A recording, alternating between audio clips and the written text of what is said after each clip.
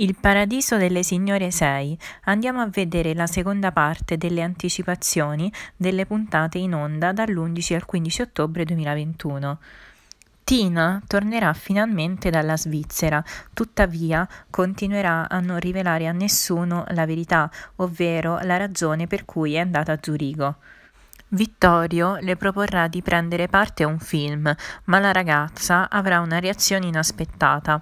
Non vuole assolutamente partecipare a questo film. In seguito Conti la induce a ripensarci, comunque è disposto a cambiare la sceneggiatura insieme a Tina. Inoltre, il proprietario del Paradiso delle Signore avrà delle discussioni con l'ex suocero, in quanto i due hanno delle idee diverse riguardo alla nuova rivista. Inoltre, il Paradiso Market non sarà l'unico motivo di discussione tra Vittorio e Umberto. Flora si trova in difficoltà dato che a breve deve essere pronta la nuova collezione per Natale. Non ha molte idee e quindi chiederà l'aiuto di Agnese.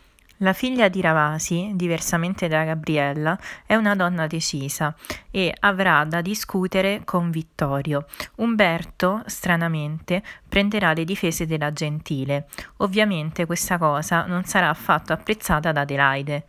Vittorio, dopo essersi separato da Marta, si è buttato nel lavoro e non ha affrontato il dolore derivante dalla separazione.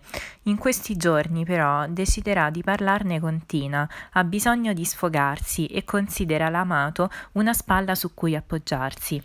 Tina, dal canto suo, deciderà di aprirsi, ma non con Conti, ma con suo fratello Salvatore, al quale svelerà la verità, ovvero perché è andata a Zurigo.